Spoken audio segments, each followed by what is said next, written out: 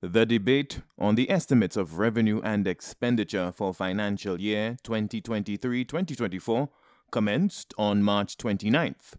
Every Member of Parliament was provided with a copy of the draft estimates for 2023 2024 up to five days before the commencement of the debate.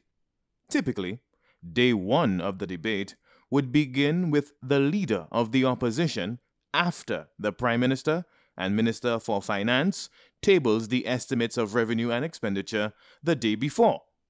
This speaking sequence had been honored by both sides of the lower house for several decades until it was unceremoniously discontinued in 2017. Prime Minister Honorable Philip J. Pierre and the governing side of the lower house immediately restored this time honored convention in 2022, more than five years after it was cast aside.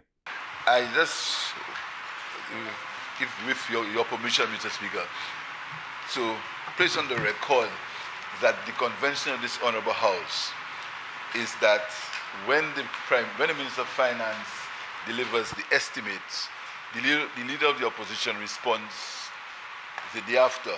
That has been the convention of this house, Mr. Speaker. This year, the estimates were given a clear three days, in fact, three to five days before the before the meeting of this honorable house which is not what happened before. Before, the estimates were given on the weekend. It was given on the weekend on Saturdays, and we got it to be debated on, on, on Tuesdays. And the leader of the opposition always responded. The annual debate on the estimates of revenue and expenditure, along with the subsequent debate on the appropriation bill, are among the two most prominent legislative processes in St. Lucia's governance system. The Prime Minister and Minister for Finance drew the attention of the lower house to the vacant benches on the opposition side of the chamber and underscored the significance of their absence for this important occasion. It has never been the convention of this house for the Prime Minister's speech to be circulated because the speech is based on the estimates and not the policy of the government. When the government's policy is going to be discussed in April, the speech is made available immediately after. It has never been the convention, Mr. Speaker. So to use the excuse that there is no speech available, it's actually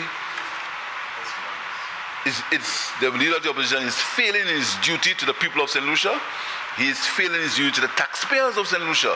And I think it must be noted that these games with the people's finances must stop, Mr. Speaker. I just thought I'd put it on record because that's never been the case. We responded immediately after, Mr. Speaker. Both the governing and opposition sides of the lower house form part of the legislature, which is among the three arms of government. Participation from both sides on critical government and legislative functions, such as the estimates and appropriation bill debates, fortifies St. Lucia's democratic system of governance and also signals to the public their duly elected parliamentary representatives are faithfully discharging their duties in accordance with the spirit of the Constitution and the standing orders of the House of Assembly.